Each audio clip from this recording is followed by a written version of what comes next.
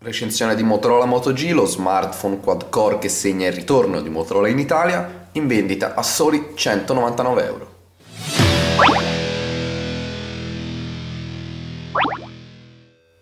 Un saluto a tutti gli amici di AndroidWorld.it, benvenuti alla recensione di Motorola Moto G.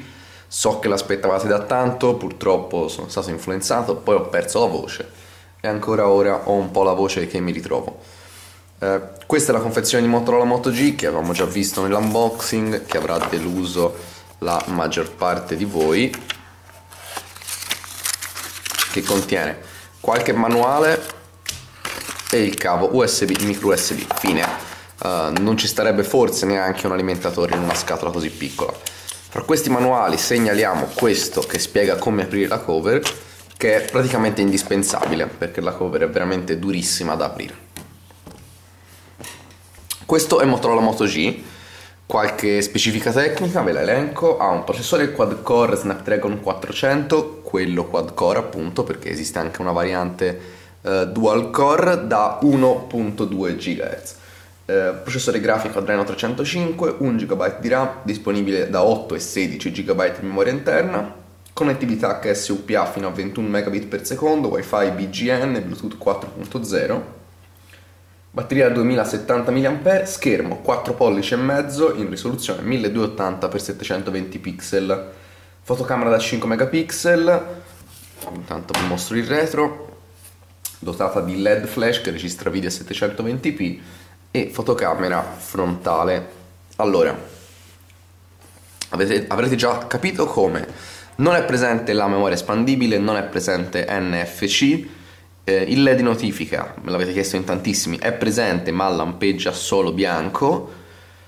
Um, ho provato con, uh, con, con Light Flow ma non c'è stato niente da fare. Scusate. Questo è lo smartphone a schermo acceso. Lo schermo è assolutamente un punto di forza, è uno schermo veramente spettacolare Uh, forse, forse un pochino troppo saturo di colori, ma è veramente andare un po' a cercare il pelo nell'uovo. Risoluzione abbiamo detto HD, colori abbastanza fedeli, alta luminosità, alta luminosità, quindi visibilità alla luce diretta del sole, ottimi angoli di visione, uh, veramente uno schermo sorprendente. Non esiste uno schermo del genere per 199 euro se non il Moto G. Questa è una cosa che ripeteremo più volte perché? Perché il prezzo di 199 euro lo pone in fascia bassa Uh, alcune cose sono anche da fascia bassa, tipo la memoria non espandibile, ma um, è uno smartphone che ha molte specifiche anche della fascia superiore. In mano il dispositivo è abbastanza pesante, almeno rispetto a quello che ci aspetteremmo, uh, ha questa forma leggermente stondata, vedete, con invece il logo qua di Motorola appena incassato, e lo speaker tra l'altro qui che però non poggia mai sul piano perché appunto la forma dello smartphone è stondata. In, in mano lo smartphone è abbastanza pesante, però dà un'ottima sensazione di solidità, esattamente quello che ci aspetteremo da Motorola, esattamente quello che ci ricordavamo dall'ultima volta che Motorola era in Italia con i suoi dispositivi. Avrete già visto come il retro trattiene tantissimo le impronte questa è una cosa abbastanza complicata perché come vedete non, non è facile elevare questa cosa, non, non, basta strofinarlo un po' con un panno. Uh, quindi quello che consiglio io magari è una volta uscito compratevi, fatevi un regalo, fatevi regalare una bella cover colorata che sicuramente, anche se, anche se dello stesso materiale, farà vedere molto meno le impronte. Qui abbiamo i tasti fisici, qui abbiamo il jack audio e il secondo microfono, pulito il lato uh, sinistro e sotto la porta micro USB e il microfono. Come vedete la barra di sistema, la barra qua sotto di sistema è trasparente, mentre invece non lo è la barra della notifica. Notifiche che sono esattamente quelle di uh, Jelly Bean 4.3 perché non c'è quasi nessuna personalizzazione. Dovrebbe ricevere Android KitKat già a gennaio, andiamo a vedere 4.3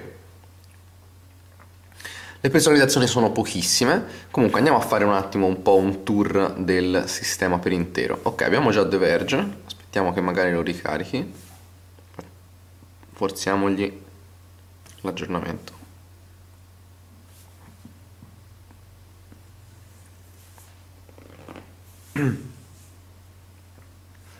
Scuso ancora per la mia voce, ma direi che non poteva più aspettare la recensione di Moto G.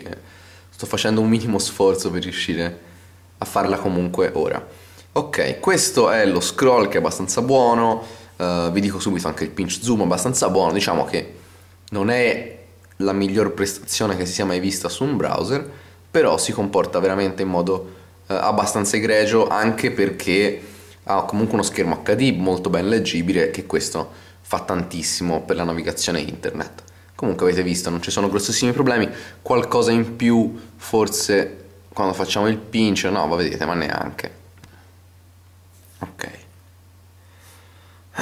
Fra le altre applicazioni c'è veramente poco, poco di preinstallato.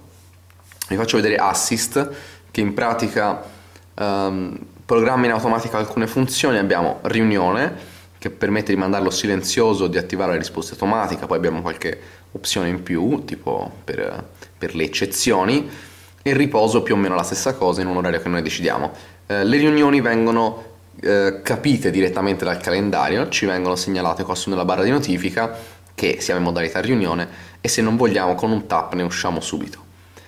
È presente una terza voce, che è questa qua al volante, che permette, eh, qui almeno la descrizione dice, ti aiuta a mantenere la concentrazione sulla guida. Non sappiamo benissimo in cosa consista perché eh, non ci sono opzioni al riguardo, non mi pare di aver notato granché, mm, questa settimana essendo stato malato non ho guidato molto, ammetto. Uh, molto probabilmente in base usando le API di Android 4.3 mentre stiamo guidando, ci pensa Android a capirlo questo, uh, mentre stiamo guidando le notifiche vengono diminuite, magari ci vengono proposte solo le telefonate o le cose più importanti. Fra le altre applicazioni abbiamo Google Drive che tra l'altro regala ben 50 GB di spazio gratuito per due anni e questo in parte possiamo dire che va a ovviare al problema della memoria interna anche se io sono dell'idea che uh, se uno usa il cloud non è tanto il problema della memoria interna, uno usa il cloud e fine, e quindi che siano 8, 16, eccetera, eccetera, non è mai un problema. C'è un certo tipo di pubblico, un certo tipo di funzioni per cui il cloud non va bene o non va ancora bene, Uh, e quindi 8 GB di memoria interna possono esserne pochi anche perché mi pare siamo intorno ai 5,5-6 alla prima accensione di disponibili. Vi faccio vedere la fotocamera perché, allora vi dico subito, le foto che scatta sono abbastanza deludenti, però il software è, è interessante. Questo è il simbolo dell'autofocus che io ho abilitato, ho abilitato qua il tap dell'autofocus, quindi posso mettere a fuoco spostandolo, quindi voglio mettere a fuoco qui, e poi tappando ovunque scatto. Oppure posso levarlo e ci pensa lui a mettere a fuoco automaticamente dove crede meglio. Le foto sono abbastanza scarsine, però l'interfaccia invece secondo me è abbastanza interessante. Abbiamo qua la modalità di scatto HDR automatico attivo o disattivo, qui abbiamo il flash, qui abbiamo l'autofocus, qui abbiamo la possibilità di mettere il rallentatore nel video e qui la possibilità di fare foto panoramiche. Scorrendo invece verso sinistra accediamo alla galleria. Fotocamera frontale e registrazione di video. Semplice ma secondo me abbastanza intuitivo e abbastanza interessante, però comunque niente di che da parte della fotocamera assolutamente. Nelle impostazioni voglio farvi vedere giusto una voce in più che è stata aggiunta che alla voce della batteria, eccolo qua, abbiamo questo risparmio energetico on off, non fa molto di più, non permette di essere personalizzato, uh, però c'è e può far comodo. Abbiamo poi migrazione Motorola che scaricando l'applicazione su un altro smartphone, su uno smartphone vecchio, um, permette di trasferire i dati verso questo Motorola. Installando la PK su un altro smartphone non potrete scegliere se è vecchio o nuovo, ma sarà automaticamente vecchio. Quindi questo tool può essere usato solo per portare i dati verso un Motorola. Motocare in pratica c'è una piccola guida del dispositivo oppure possiamo uh, chiamare automaticamente l'assistenza di Motorola. Um, abbiamo la radio FM, abbastanza carina esteticamente, che funziona solo con le cuffie inserite, cuffie che però non sono presenti nella confezione. Uh, YouTube, Quick Office, uh, Play Movies che ho installato. Guarda, voglio fare questa prova e riprodurre Matrix in HD da Play Movies, vediamo se lo streaming ci assiste. Siccome mentre lo tenevo in mano ha vibrato perché è arrivata una notifica, anche se voi non l'avete visto, segnalo anche come la vibrazione sia molto uh, decisa, molto, molto buona alla fine e quindi permetta di anche digitare uh, correttamente. Ora, sto guardando un video, ma sto divagando, ma continuo visto che mi vengono in mente le cose. Um, tastiera, quindi parliamo di digitazione, tastiera che è quella Android standard ma non supporta l'inserimento con trascinamento. Uh, ho provato a cercare l'applicazione standard, l'applicazione da tastiera di Google nel Play Store e non si trova, quindi non potrete aggiungerla in questo modo. È una scelta un po' bizzarra, devo dire, quella di non permettere di attivare il trascinamento, non so bene perché sia stato fatto. Il lettore musicale è affidato a Google Play Music, quindi si sincronizza con il cloud di Google.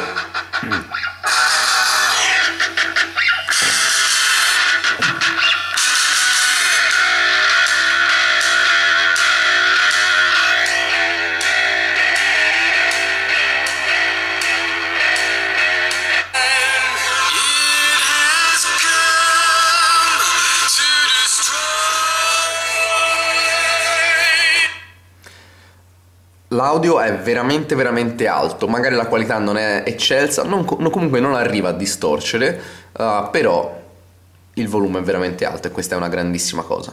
Avvio Riptide GP2 per farvi un po' vedere la potenza pura del processore che comunque è ottima, ve lo devo dire, questa Snapdragon 400 fa assolutamente il suo dovere. Uh, dal punto di vista hardware ci sono altre piccole mancanze, per esempio l'NFC io metterei soprattutto l'assenza di a memoria espandibile ma se la cava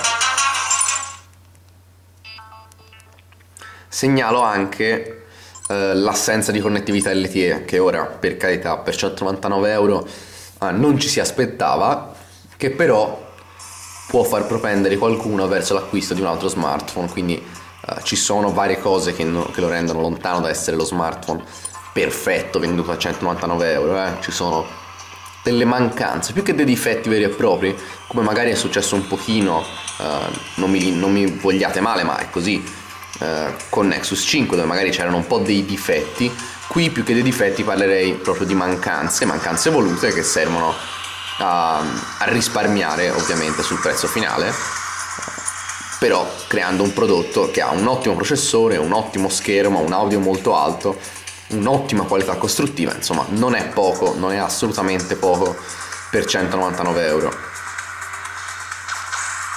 Ok, avete visto, comunque gira benissimo. Quindi effettuo anche una telefonata in viva voce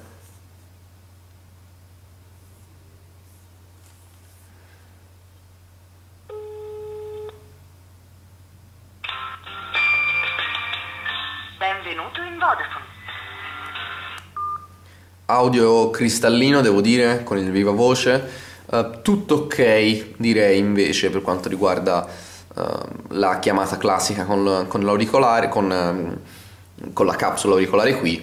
Anche la qualità ricettiva direi che è buona. Non lo metterei nell'albo dei migliori del secolo, non è il Motorola storico come magari è successo in passato, ma si comporta molto molto bene al riguardo. Questo smartphone quindi merita di essere acquistato? Beh, la risposta è sì, 199 euro è un prezzo che tra l'altro va a distruggere il mercato. Come detto, memoria non espandibile è, la, è il problema probabilmente più grosso che potrebbe limitare la scelta di molti acquirenti. Um, la fotocamera in secondo piano, diciamo che anche quella è un po' una rinuncia uh, non per tutti la fotocamera è una cosa importante come magari lo è la memoria interna, stessa cosa poi per la connettività LTE, il LED di notifica è solo bianco, questi più o meno sono i difetti più grandi di questo Motorola Moto G dopo che gli avrete cambiato la cover da nera con una colorata. Per questa recensione di Motorola Moto G è tutto, un saluto da Emanuele Cisotti per androidworld.it